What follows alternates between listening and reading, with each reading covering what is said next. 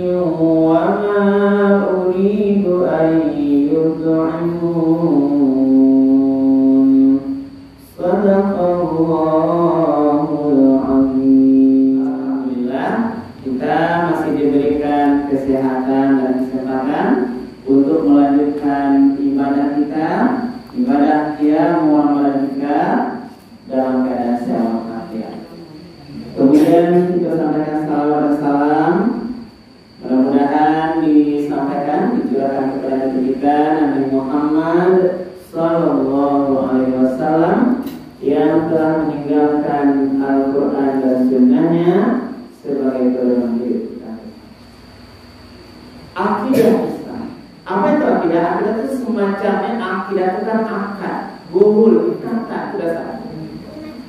Ikatan yang kuat dari batin seseorang itu yang menyebabkan dia betul-betul yakin yang tidak bisa diragui terhadap keislaman itulah akidah Islam keyakinan yang kuat terhadap agama Islam sebagai agama yang utama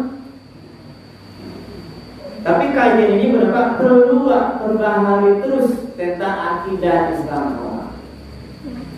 Karena bisa digunakan kita belum sempurna melaksanakan semua syariat agama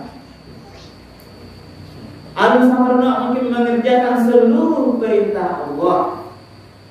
Atau mungkin masih ada Pak Sakala kali sangat terlanjur mengenai yang dilarang oleh Allah yang sama tak boleh kerajaan kalau perintah harus kerajaan kalau dilarang harus Pak itu konsep dasar. Tapi kenapa? Kadang-kadang sebagian bahkan mungkin masih banyak orang lain yang melanggar syariat? Diperintahkan tidak kita hajar Surah sembahyang oleh Allah dalam Al-Quran, tapi ibu bapak orang yang sempurna ibadah sholatnya. Surah puasa tapi kalau kita digunakan masih ada orang Islam yang tidak menunaikan ibadah puasa. Dilarang berjudi, ada orang Islam berjudi Pak Ibu? Ada. Lebih canggih lagi main chip ya Pak. Eh ke Pak Cip Pak. Istilah anak Dilarang Berzina dilarang minuman keras. Narkoba semua larang lain dilarang perzinahan. Dilarang. Mungkin dalam bentuk dosa-dosa lidah yang sekarang mana yang bernafas Al-Quran agama Islam melarang. Tidak boleh mengujian kadang-kadang kalau kita mulai awal apa menceritakan aib orang lain. Tidak boleh menutup itu adalah agama kita. Tapi toko yang kadang-kadang menjadi acuh kata rajanya. Itu semuanya dimaafkan berapa? Semua itu dasarnya. Karena apa? Karena akidah keyakinan Islamnya itulah yang kurang. Yang kurang. Jadi kalau yang perlu kita bahas sama presentator bagaimana akidah Islam itu? Nah, memahami konsep kaidah atau prinsip kaidah agama Islam yang itu bisa lihat kita sorot dari enam rukun iman. Nah, bisa kita bisa. Apa yang pertama? Kita memiliki prinsip akidah beriman kepada Allah Komodasi beriman terbesar yang prinsip akidah Islam yang tertinggi. Beriman kepada Allah. Lalu iman apa yang mana maksudnya? Lah setidaknya melahirkan empat bagian. Yang pertama, kita harus betul-betul yakin kepada Allah itu bahwa Allah itu ada. Ya Pak? Allah tak boleh takut. Kalau mungkin Allah itu dari segi zatnya tidak bisa kita lihat, tapi kita harus yakin ya yang dalam Allah itu lain. Tidak boleh ragu di sini. Dia wujud ada dia. Tugas dasar. Sebab orang kok melengkapi Allah karena ada di sana semenjak keraguan Allah tuh ragu dia keberadaannya atau tidak. Jadi yang pertama dulu adanya Allah tidak boleh sedikit pun Lalu setelah kita yakini keberadaan Allah itu mengalirlah dia dengan prinsip lain namanya tauhid rububiyah ketuhanan. Apa masih belakang? Kita meyakini Allah lah yang semuanya ini memberikan kita kehidupan. Allah yang mengelak rasaki, Allah yang menyebabkan kita sehat dan sakit, itu semuanya dari Allah. Ini namanya tauhid rububiyah, ketuhanan. Jadi semuanya Allah yang mengatur. Rasa bukan yang kita makan di apa? Itu Allah yang memberikan kita.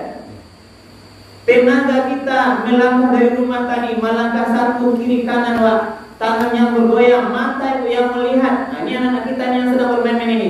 Semuanya siapa yang memberi dia kekuatan? Allah.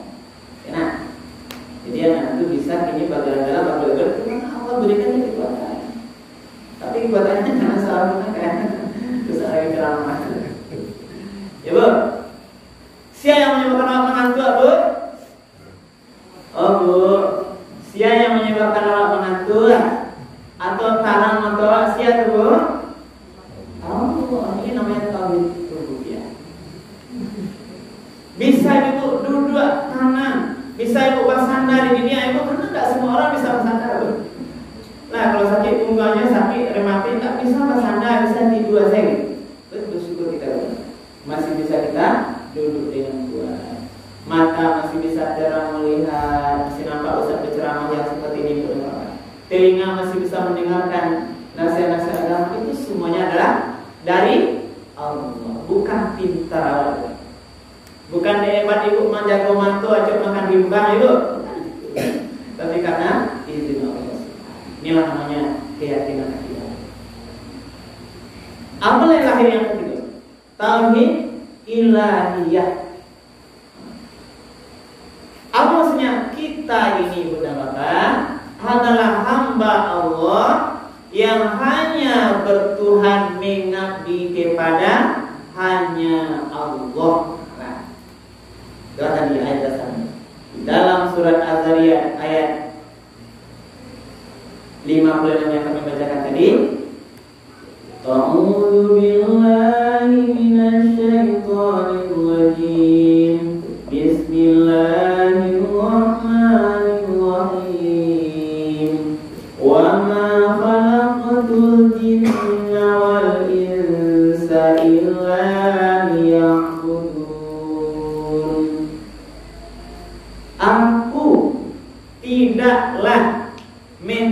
menciptakan jin atau manusia kecuali untuk menyembah mengabdi kepadaku. Nah, jadi kita ini hambanya Allah. Allah menyembah bertuhan hanya pada Allah. Makna hamba itu hamba itu kan abdul. Kalau bangsa yang lebih dalamnya abdul ini budak artinya. Ini hambanya Allah, budaknya Allah yang hanya kita menyembah patuh bertuhan hanya kepada Allah, bukan kepada manusia lain. Ini tauhid. Yang kita sembah hanya Allah, yang tempat kita takutkan hanya Allah, tempat kita meminta hanya pada Allah, tempat kita mengadu hanya pada Allah. Ini yang hakikat sebenarnya, yang abadi. Kalau mengadu kepada manusia lain, baca itu masalah orang lain, atau bermohon kepada manusia lain, bermohon kepada manusia lain, kita sering kecewa, ya Pak. Tidak sadar apa ya Pak. Kadang-kadang meminta ke orang rumah, kadang-kadang ada beda. meminta ke tetangga ada dapat juga, meminta kepada pimpinan tidak bisa juga. Ini bisa bisa Tapi hakikat sebenarnya kita hanyalah meminta kepada Allah. Inilah prinsip.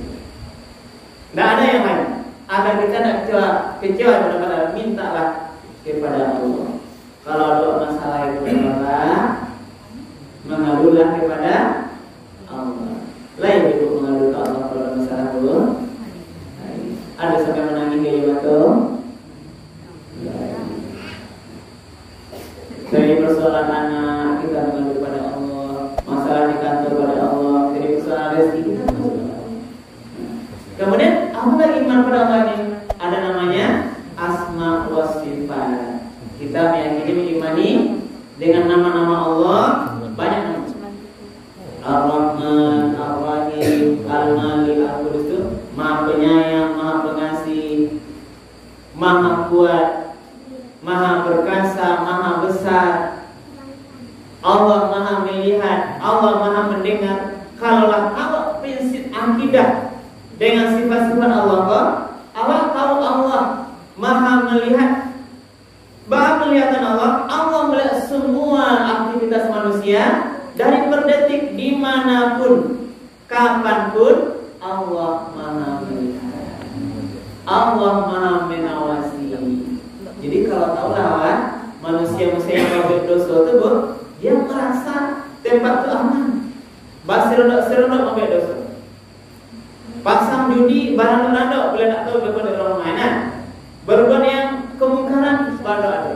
Di tempat hari malam yang gelap hitam Allah tahu tidak apa nah, tidak ada tempat yang bebas dari pengawasan Allah Subhanahu Subhanahu kalau mantap itu berapa kita akan akan termasuk yuk kita berpuasa ini kalau kita tahu prinsip Allah yang membalas ibadah puasa sebagaimana hadis mengatakan kullu amal ibni adam lahu illa siyam fa innahu li wa ana ajizi semua amal anak Adam itu untuknya dihitung pahalanya. Kadang dibalik 10 kali lipat atau paling tinggi 700 kali lipat kecuali puasa. Puasa itu untuk Allah simpan pahalanya. Apa maksudnya? Allah bisa balas melebihi 700 kali lipat atau Allah bisa balas di bawah 10 kali lipat Makanya bedanya kalau puasa berkualitas, orang beriman kok hati-hati kita berpuasa. Berhati-hati kita berpuasa. Tidak sekedar menahan lapar dan haus saja, tapi kita hati-hati karena kita meyakini dalam tauhid kita Allah mengawasi melihat. Kesabaran kita dari hati kita yang dalam, kepatuhan kita kesudah kita baca Quran, ketika alhamdulillah itu semua itu adalah akan dihitung oleh Allah. Jadi yang pertama adalah konsep ketuhanan iman kepada Allah. Kemudian iman kepada apa yang kedua berapa? Kepada para malaikat. Ini konsep ada Awal harus yakini berapa? Ada malaikat yang mengawasi kita ke mana pun pergi Yang mencatat amal baik, amal buruk awak Semuanya tidak akan lepas dari catatan Allah. Bagi awal langsung maka malaikat rakib juga perbuatan baik. Kalau langsung membuat dosa ada malaikatnya ibu dicatat semuanya yang Iz yatalaqqal mutalaqiyani 'anil yamini wa 'anil shimali qa'id ma yalfizu min qawlin illa ladaihi raqibun atid. Tidak ada suatu aktivitas kita yang bebas dari catatan malaikat raqib tadi. Ibu, makanya agak mengantuk ya. Alah, Bu. Bu. Mengantuk ya. Nah, Bu. Malaikat jadi semuanya malaikat memberi kita rezeki ada. Termasuk nanti yang penting ada malaikat pencabut nyawa. Yang yang mengintai kita. Ada tuh bilo giliran apa itu? Bilo datangnya Israel itu. Bila Israel datang memanggil jasad terkujur di pembaringan seluruh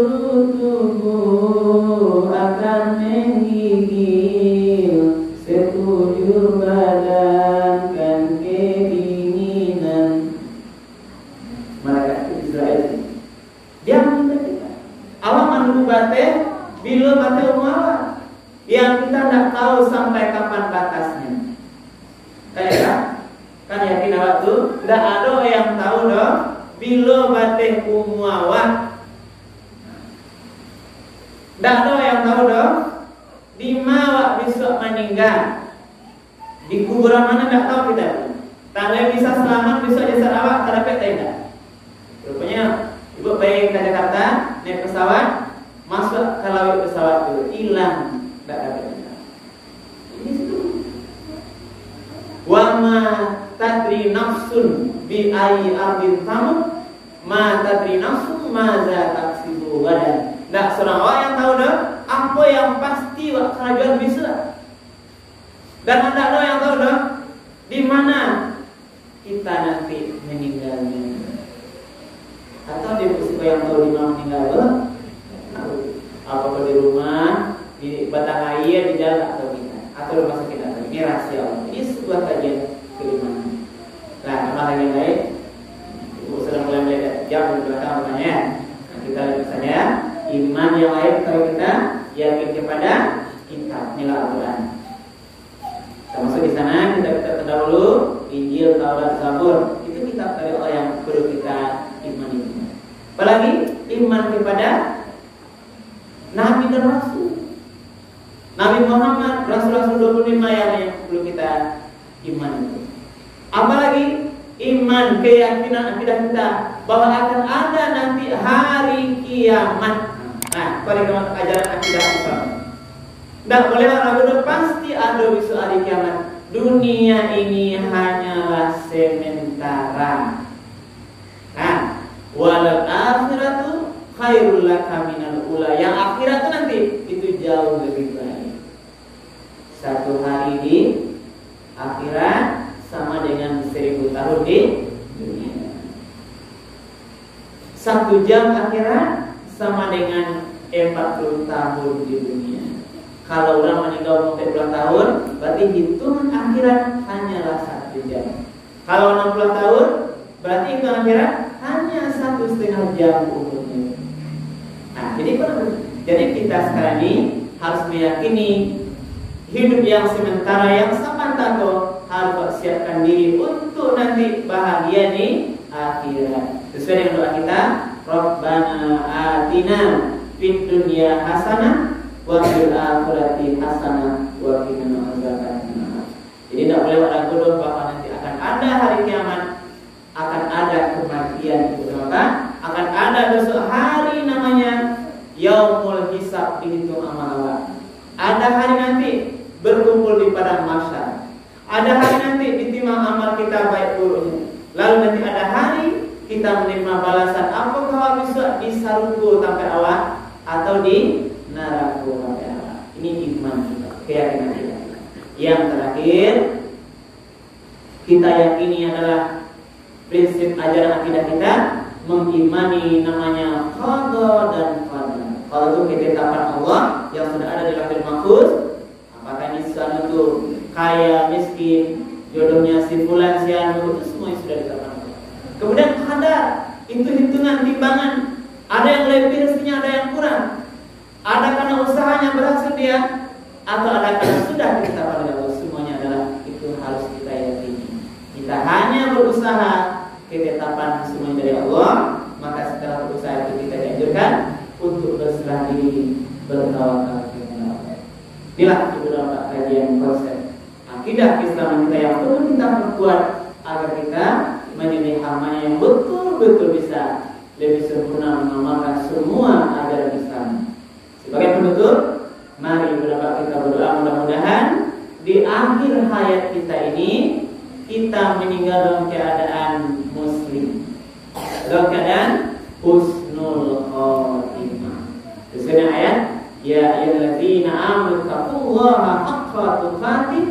wa la tamutunna illa wa antum muslimun. Wahai orang beriman bertakwalah kepada Allah dengan sebenar-benarnya takwa. Jangan kamu mati kecuali dalam keadaan muslim berserah diri kepada Allah.